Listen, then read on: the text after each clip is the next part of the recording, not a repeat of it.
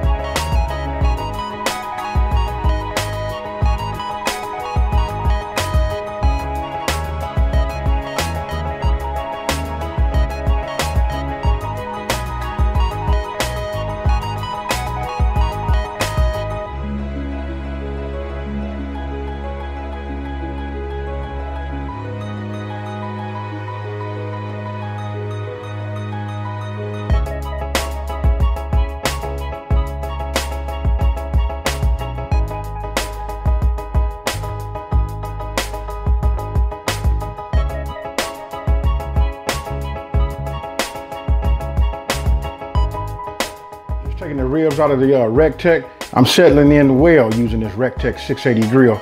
You know what? I'm loving it. Now, you saw what I did was I did two different types of wrap ups. I did one wrap up, you know, I did one in foil, which is the traditional way. I also added some root beer in there so that it would uh, steam, you know, tenderize that meat, get it nice and moist. And then the other, I went ahead and just did it in uh, butcher paper. You know what I mean? And uh, we're gonna test both of them right now. I know you over there doing something slick, Lyle. You know what I mean? Uh, everything I know about you, man, tell me, man, you you moving and lurking in these waters like a big shark, bro. And I got it. You know what I mean? That's why I brought my A game. And here we go. So let's go ahead and start off with the uh, the baby back. Here, let me just show it to you. There it is. You know what I mean? Uh, yeah, you know what? Let's just go ahead and taste it.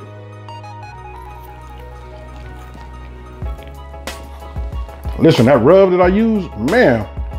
Listen, when I open it up, you know, broke the little seal off the top so you can like smell it.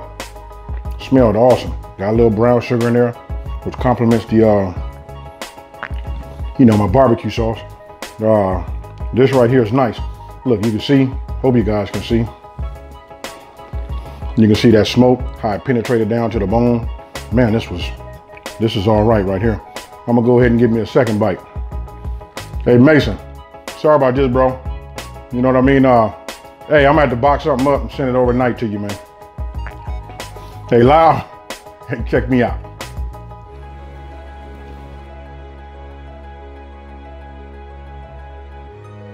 Now look, I'm loving ribs like I'm loving them pork chops. Hey, bottom line is, you know what? Me and the pork man, we good. I'm gonna go ahead and just give this, look, one thumbs up already. It's gonna be hard to beat.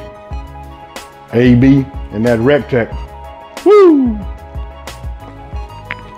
Here go that St. Louis. I can tell you right now, look at that. Oh, look. What you got for me, Lyle? I know you, I know you got something, man. All I can do is smile. Let me go ahead and get a taste of this one, a bite of this one. Let's go ahead and just break it loose like that. Hey, listen, the texture is just right. Man, you can see the color in the meat. Oh yeah.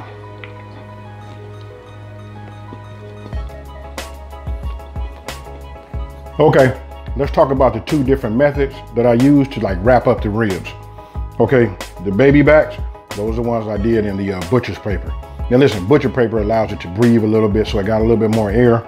Uh, not quite as moist as the St. Louis style, but listen, it's still good. Tear right up off the bone. Hmm, I'm sorry, y'all.